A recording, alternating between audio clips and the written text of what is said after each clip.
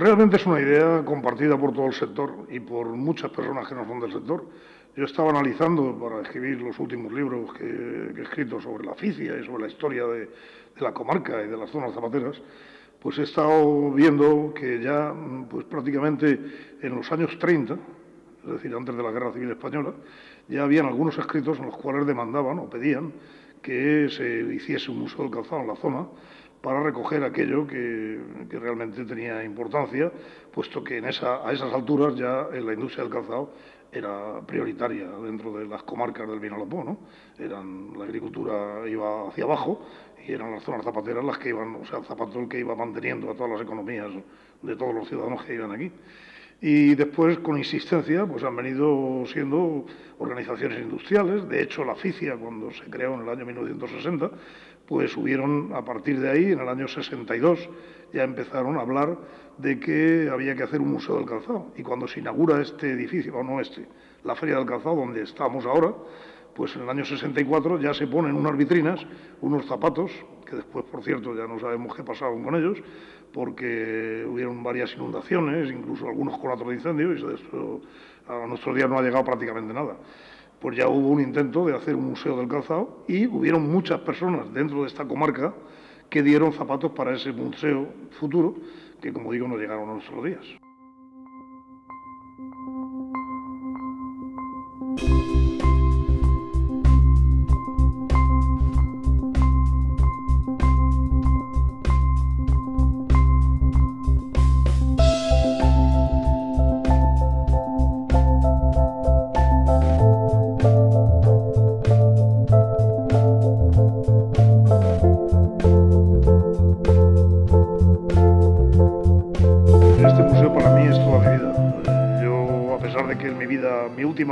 Parte de mi vida, pero en estos momentos ha sido donde he concentrado todos los mayores esfuerzos y las mayores ilusiones.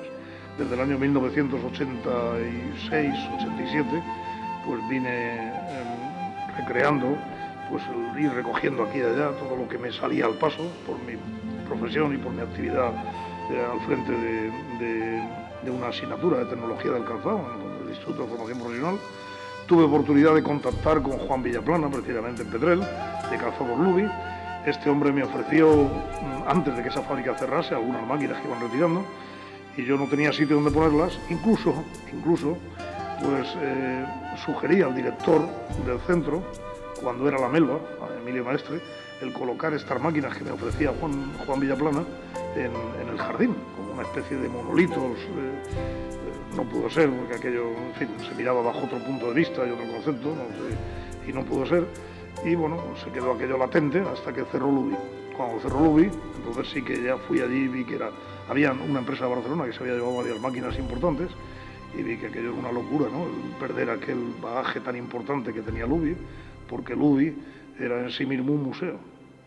Y entonces pues ahí fue con ese, enorme, eh, como digo, bagaje que nos venía, esa cantidad de zapatos, de máquinas, de, instalaciones, pues eh, era una pena perderlos. Entonces puse al frente a un grupo de, chavales, de, alumnos, que fueron investigando cada una de estas piezas y haciendo unas fichas técnicas.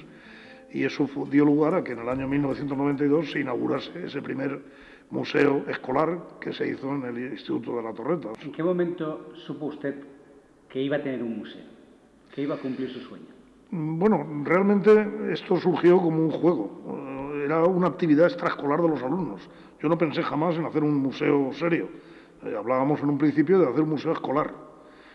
Es más, este museo, mm, cuando se cerró, porque se cerró en el año, como digo, 1995 aproximadamente, se cerró, 96, para dar paso a la LOXE, que necesitaba el lugar que nosotros teníamos en la torreta, pues ahí yo pensé que todas las esperanzas de tener un museo se habían acabado.